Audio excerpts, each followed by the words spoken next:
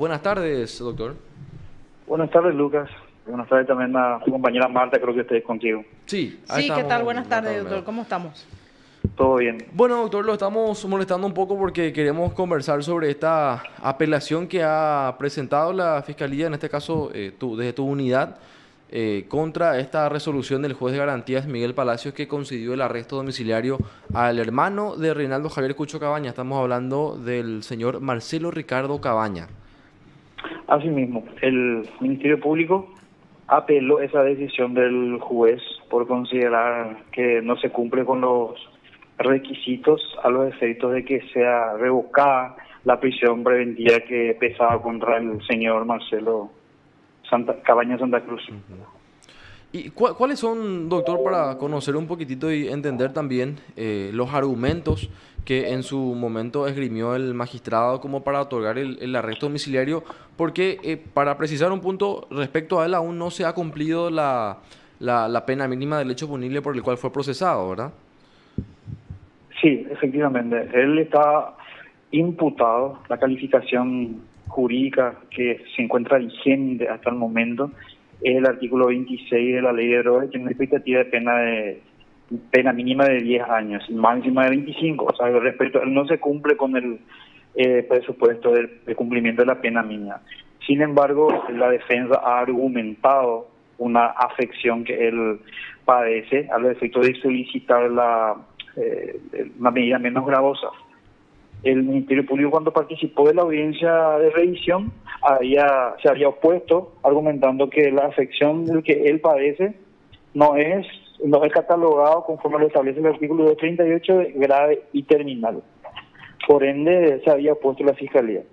Sin embargo, el, doctor eh, Palacios, eh, cuya decisión se respeta, sin embargo, disiente el Ministerio Público en cuanto al análisis que él ha efectuado respecto al estado de salud del señor Marcelo Cabañas. Él en su argumento considera que la afección que padece el señor Marcelo Cabañas debilita, dice, una posibilidad de fuga. Eh, en primer lugar, los presupuestos para revocar una afección preventiva debe desaparecer de manera definitiva. Aquí él hace una argumentación diciendo debilita, o sea, no desaparece, está debilitada nada más. Luego él refiere, dice que el procesador requiere de tratamientos permanentes, y eso es falso sea, consideramos falso teniendo en cuenta que no existe ningún informe médico que refiera que él deba eh, ser eh, atendido o, requiera un tratamiento permanente. Los tratamientos permanentes únicamente podrían darse justamente de enfermedades consideradas graves y terminales. Y conforme a la redacción del, del artículo 238 del Código Procesal Penal, eh, las características de grave y terminal deben darse de manera conjunta, ya que entre las mismas se encuentran, nosotros sabemos, una conjunción copulativa de I, o sea, no hay disyuntiva, las dos, los dos elementos se tienen que dar. Pues el Ministerio Público considera que uno no es grave eh, la herida que él sufrió, porque no afectó en ningún órgano. Eh, tampoco es terminal, obviamente, como para que se le haya dado este arresto. Es más, el informe del director médico del hospital donde él fue atendido que es el doctor Gustavo Caballero, y la asesora jurídica de dicho nosocomio del Hospital General de Barrio Obrero había referido que se encontraba en alta con indicaciones médicas desde el 22 de septiembre del 2023 es decir, condiciones de seguir su tratamiento, dice claramente en su lugar de reclusión. En ningún momento dijo que él necesitaba un estudio complejo, un tratamiento permanente. Es, los argumentos que el Ministerio Público considera vamos a decirle, fundamentado, motivado al efecto de revocar la decisión dispuesta por el juez, eh, el doctor Palacios. Eh, de, todos modos, eh, fiscal, eh, ¿cuál sería el diagnóstico? ¿Él a partir de esa lesión nada más es que requirió de la mentada, del mentado tratamiento o concretamente él tiene algún el reporte de alguna otra enfermedad crónica? Ninguno, ninguna enfermedad. De hecho, que ni aunque padezca de enfermedades crónicas, tampoco las enfermedades crónicas son eh, eh, graves y terminales. No estamos hablando de un cáncer terminal o de otra enfermedad que tiene fecha de, vamos a decir, de, de, de defunción, vulgarmente. Pero en este caso solamente es esta herida. Inclusive consideramos superficial esta herida porque como, como les mencioné, el, reporte médico eh, del director del hospital dice que eh, tiene fecha próxima de, de, curarse esta, esta lesión que él sufrió. Eh, y ni siquiera requiere tratamientos permanentes, sino que eh, de curaciones, eh, que no se infecta su, herida y, nada más.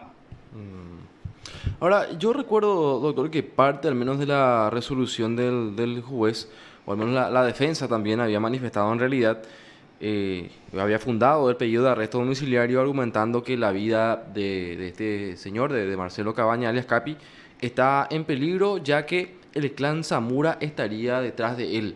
O sea, eso podría ser también un fundamento como para otorgarle una medida menos gravosa que la prisión o, simplemente se podría subsanar con algún traslado a otra penitenciaría. Exactamente, justamente eso había, había mencionado al momento de contestar la locución de la defensa, que eso no puede ser un fundamento de, de una eh, de, de, una salida o, de una revocación de una prisión preventiva. Porque una amenaza de esa naturaleza se soluciona con un traslado o un resguardo o una comunicación a la penitenciaría.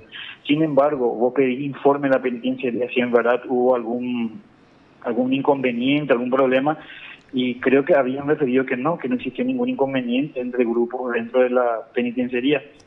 Es más, que la defensa exponga esas circunstancias, justamente le había dicho al, a la defensa, que exponga esas circunstancias, eh, que él tiene conflicto con otro grupo criminal, eso hace alusión que él también es parte de un grupo criminal, porque ningún grupo criminal se va a tomar contigo si vos no sos parte de otro. Eh, pero reitero, eh, se había fundamentado, o sea, había puesto el Ministerio Público como argumento de que eso se, se podría solucionar o, verificar dentro de la penitenciaría con un traslado, tal como lo indicó usted. Ya, ahora, eh, doctor, para precisar un poco, ¿él está procesado en la misma causa que su hermano o es otro proceso consulto? Porque eh, tenía, ese mismo proceso, la causa, ese mismo proceso, sí, la misma causa, sí. Eh, ¿Quedaste entonces como, como interino del caso, verdad, doctor?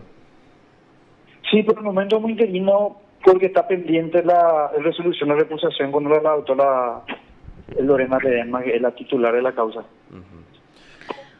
Concretamente, eh, ¿se puede hacer la descripción de cuál sería el papel que cumplía el señor o el rol del señor eh, Cabaña también, eh, sí, dentro de esta estructura fiscal? También fue, fue, así como su hermano, era un operador logístico dentro de la estructura criminal.